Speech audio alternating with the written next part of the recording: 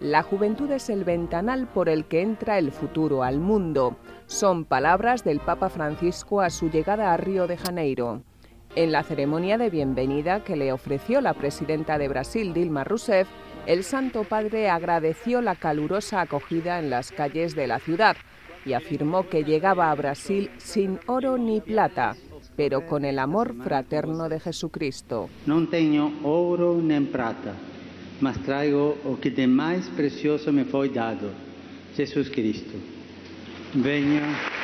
La presidenta brasileña, por su parte, le propuso al Papa una alianza para combatir las desigualdades y para difundir por el mundo iniciativas de superación de la pobreza que han tenido éxito en Brasil.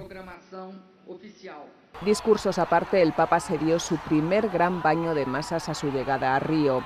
Miles de personas salieron a la calle para darle la bienvenida. Sin embargo, las autoridades están preocupadas por las protestas que los indignados mantienen en Río desde hace semanas.